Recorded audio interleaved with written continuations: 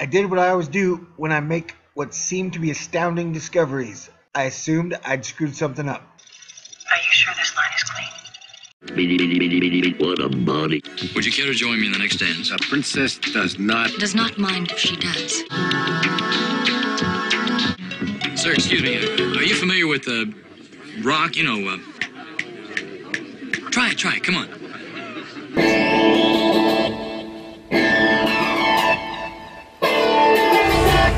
Guys, I'm bringing the party to you.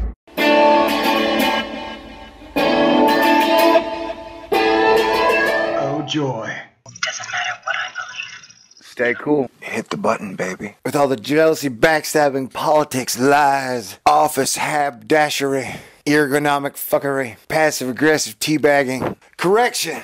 Well, that is super duper exciting. And Thor News just got 17 extra silver points to Gryffindor for this announcement. This is a Thor News presentation. Thor News presents. Well, ain't this just sweet kismet? Zippity doo day, zoppity doo. I like planets. How about you? What is a planet?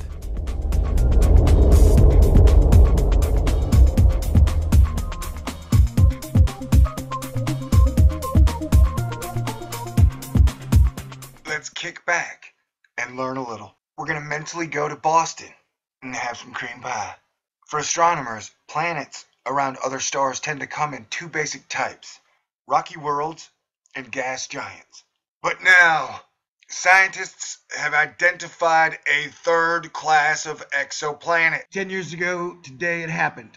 I did what I always do when I make what seem to be astounding discoveries. I assumed I'd screwed something up. Screwing up happens all the time. And if you have to make a guess between just found biggest object in our outer solar system or screwed something up, you'd be smart to pick the latter. Maybe I had set up the telescope wrong. Maybe the tracking was off. Maybe we were looking in the wrong spot in the sky. Shockingly to me, at least, nothing was off. The images were perfect. We had just found a second object even brighter than the one from eight days earlier. This new object found 10 years ago today was, of course, Xena, which became 2003 UB313, which finally became Eris. 10 years on, we know that Eris is about 25% more massive than Pluto, though similar in size. The reason it appeared so bright in those earliest images is that it is one of the most reflective objects in the solar system. It is so far away that its atmosphere is frozen onto the surface, reflecting almost all of the light that hits it. How do you know, man? Like, how do you know? Because I gotta say, science likes to think the farther out planets are, you know, beyond the frost line, then they're just giant cold balls of ice. And you know what?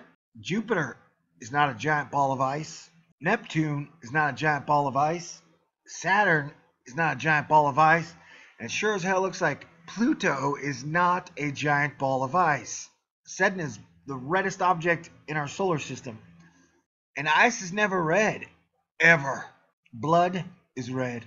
Roses are red. Rust is reddish. You know? So my question is, this all started because, which I'll cover later, this all started because Universe Today was like, Mike Brown wrote another paper, man. And that paper said it looks like these are all the bright Kuiper Belt objects we will ever find by Tim Reyes, Universe Today. The self-professed Pluto killer is at it again. Dr. Michael Brown is now reminiscing about the good old days when one could scour through the sky, survey data, and discover big bright objects in the Kuiper Belt. In his last research paper, Brown and his team have concluded that those days are over. Now, granted, we're only talking brightness here. It's talking about how bright it is. Update, I would say we're out of bright ones, not big ones. Could be big ones lurking far away. Could be big ones lurking far away. There could be big ones lurking far away. You got that? Me too. So I want to know, Dr. Mikey Brown. Dr. Mikey Brown. WGF is Xena Plus Plus, man. Let me know. Let us know. I'm going to encourage people to tweet you politely asking, Sir, what is Xena Plus Plus? What did you mean when you said this? As the premier, ultimate dwarf planet finder in the world and in history. What are you talking about, bro? Why won't you talk to us? Give us some love. You know? I'm cool as shit, man. Wait, shit's not that cool, especially when it comes right out. That is gross. You know, I love Planet X. And to me, since the IAU never defined Planet X, Planet X is anything, any other planet toyed outside of Pluto's orbit. So that's Planet X to me. Planet Eris was actually declared the 10th planet for a couple months until it got demoted. So it was officially the 10th planet, 10 being X. You know, so Planet X is not some cuckoo bird term. It's a real deal, man.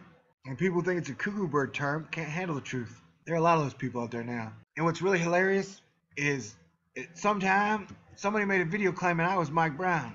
Now, Mike Brown really doesn't talk to me much, or ever really. And why did y'all name it Eris? Eris is the goddess of lawlessness, hate, anger, frustration. What is up the IAU's butt, man? Why do you want to name shit? I mean, you guys don't believe in God, but you name everything after gods. That don't make no damn sense. It's like you're trying to mock the people who fund you. Would science do that? Mock the people that fund them? Hell no. I mean, what? It is, I don't know, stupid. Oh no. No. Mike Brown was shot. Oh, wrong Mike Brown. So please tweet our friend, Dr. Mike Brown, and say, hey, buddy, what is up? Earthlings, Pluto is not worthy of being argued over. I'm working on finding something much more worthy.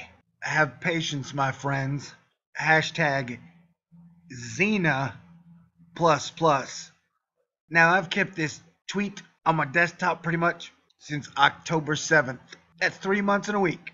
I've pestered Mr. Pluto Killer several times asking for more information about this subject and have gotten zip, zilch, zero, none. All right, let's do a refresher course. Suddenly, we're surrounded by one billion Earths. Are they friend or are they foe? Next on exponentially multiplying exoplanetary Earth 2.0s. No, no, no, no. That, that, that's not it. Just, just let yourself go. Let it go. It's